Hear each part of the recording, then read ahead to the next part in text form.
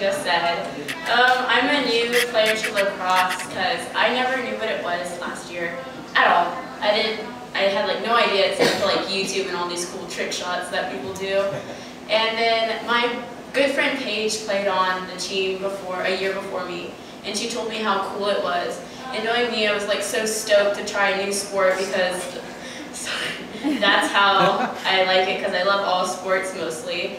And um, I tried lacrosse, and like the first few practices, I was hooked. And um, I like really got really intense into it, which is me because I get overly intense about a lot of things. And um, I like I start when we started the um, the official practices like after summer. I like started bonding with some teammates, and there's one of uh, the goalie over there, and she's one of the best goalies because she takes my really hard, painful shots with rapid fire, and um, she deals with it.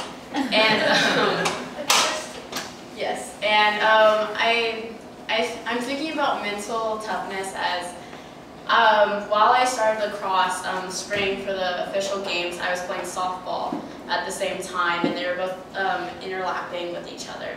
And it was really hard because I like, I was like trying to figure out how to work work out all the practices, and I couldn't make it to all of them, which like brought me down a lot because I was like, oh, I have to play both, and have to play them to my hardest, and um, it was really hard, but I still did it. And I think I had David to thank for that and Coach Kate because um, they kept they kept giving me compliments and cheering me up. And like I remember I lost my breath completely and I wasn't breathing at all on the field and I didn't know why and I was like panicking and I couldn't talk. And then there was Coach David. And he's like, "Oh yeah, you're okay. You're just you're not breathing and you just need to drink water." I mean, it helps. yeah. And um, I didn't end up playing with that game, and I got frustrated about it. But he was there. He's like, "Well, you're okay. Um, you played your hardest because you ran as hard as you could, and that's good." And um, I, um, uh, like a month later, I was starting to fall through both my sports, and I was because it was like getting towards the end of like finals and testing, and it was hard to concentrate on everything.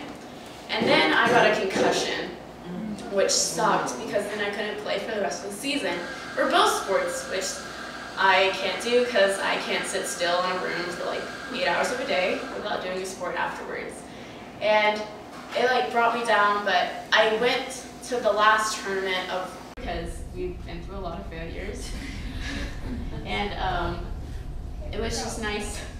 It was just nice to see how all of us can pull each other up, and all of us are pretty strong on the team because we have arguments about how to play the sport, and I think um, I think mental toughness really got me through this year overall because everybody on the lacrosse team has changed my sport sport mind through every sport, and it was really helpful.